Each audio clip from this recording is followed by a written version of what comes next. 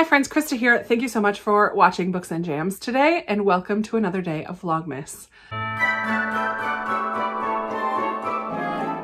I'm really excited about this video. I was debating with myself if I was going to do this again this year and I decided that I am because this is going to be the fourth year where I ask you to recommend books for me to read based on my owned TBR shelf on Goodreads. So I am going to kind of go over the last couple years and how I'm doing with those lists and because I've kept track, I make a spreadsheet every year and let you know how I did specifically in 2021 and then ask you to click on the Goodreads link that will take you to my owned TBR shelf and recommend a book for me. And I will clear off the cart from this year add on the all the new books that you guys are going to recommend that are on my shelves.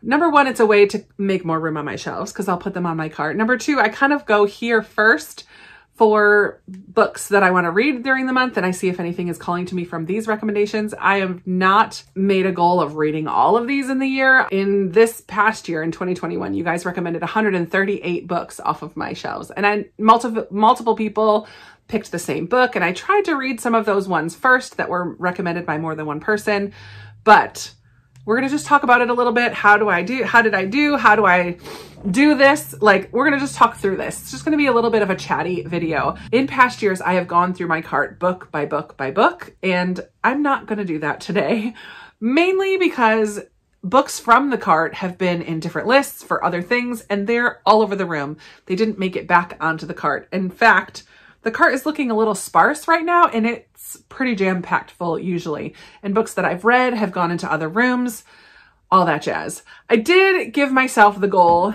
this year of reading 38% or more, which would be an increase from what I did last year. So the simple goal that I had was to read more books off of my cart than I did the year before. And this year that meant 48 books. And I gotta tell you right now, I'm at 47. That's read or unhauled. So we're going to talk through the ones that I've read and the ones that I've unhauled. And then I'd love for you to go click on that link and we'll start a new list for 2022. On this year's list, I did unhaul 10 books and I'll just real quickly tell you which ones I unhauled.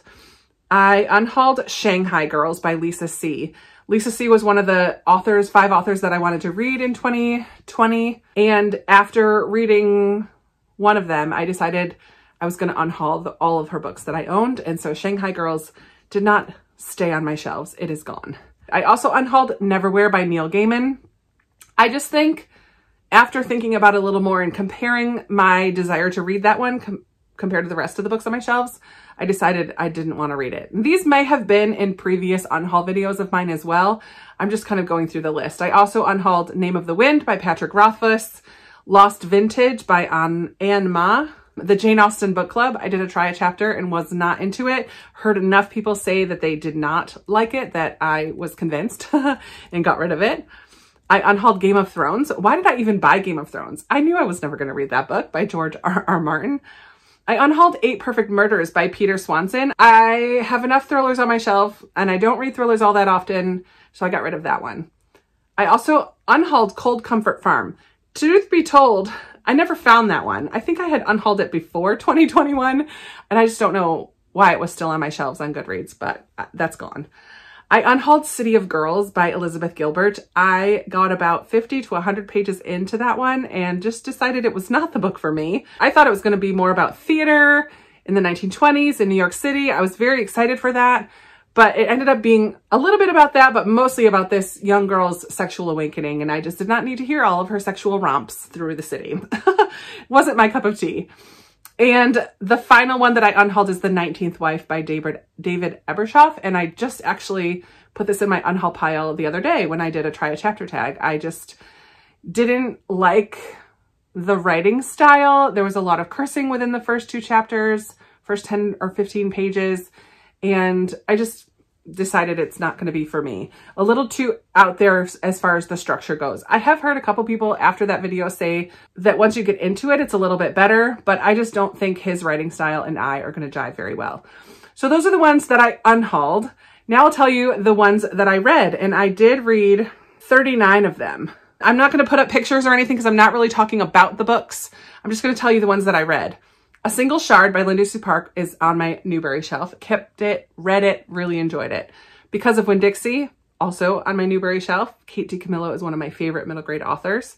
Beneath a Scarlet Sky was a World War II historical fiction by Mark Sullivan. Loved.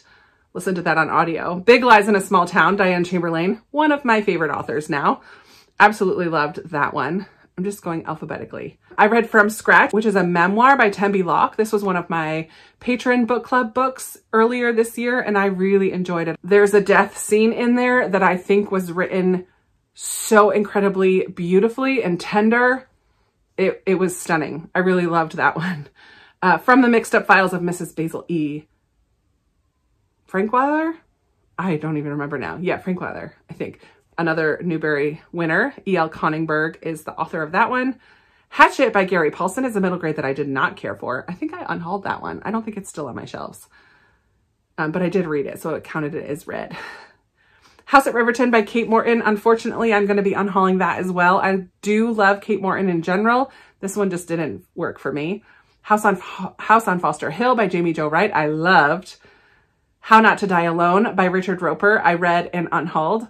Thought it was an interesting story, but didn't didn't love it. Didn't stand out. Same with In Five Years by Rebecca Serle. Read that, didn't love it. Island of the Blue Dolphin, another Newbery. When I keep pointing over there, all those that go across here, those are my Newbery winners. That's why I keep pointing there. Sorry. Amongst all the other books that need to get put away. Oh Julie of the Wolves by Jean Craighead George, another Newbery winner that I loved. Keeper of the Lost Cities. I started that series this year and love it by Shannon Messenger. Kira Kira, another Newbery winner by Cynthia Kadohata. Lost for Word Bookshop, I read by Stephanie Butland. I honestly don't remember even reading that, but I did early on in the year, I guess. The Memory Keeper's Daughter by Kim Edwards, another Patreon book club book from this year. Miracle Creek by Angie Kim super different from other things that I've read. A little bit of a mystery, a little bit of courtroom drama. Really enjoyed it. Moon Over Manifest, another Newbery winner by Clare v Vanderpool. I, I made great progress with all the Newbery winners. Mrs. Frisby and the Rats of NIMH, another Newbery winner by Robert C. O'Brien. uh, the Orphan Collector by Ellen Marie Wiseman, another Patreon book club book. Orphan's Tale by Pam Jenoff, I just read very recently. Pride by Ibi Zoboi, I read early on in the year, maybe February, I think, was a little bit disappointed in it, but I am glad that I read it. The Reckoning at Gossamer Pond is another book by Jamie Jo Wright that I absolutely loved.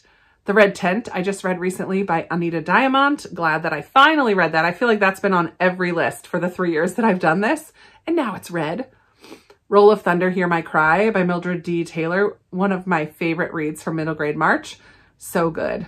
Secrets of a Charmed Life by Susan Meissner. Really enjoyed that one. I love Susan Meissner.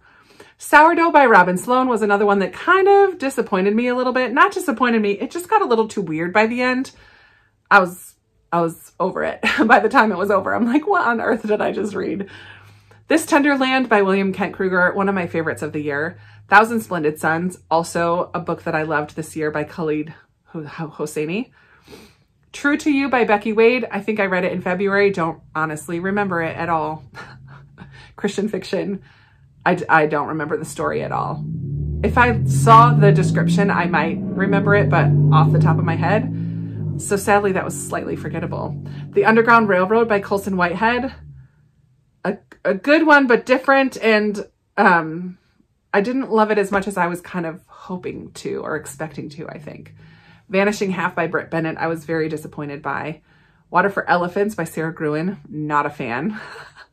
Waves of Mercy by Lynn Austin, a Christian fiction that I just really didn't like. Bummer. That's like three in a row.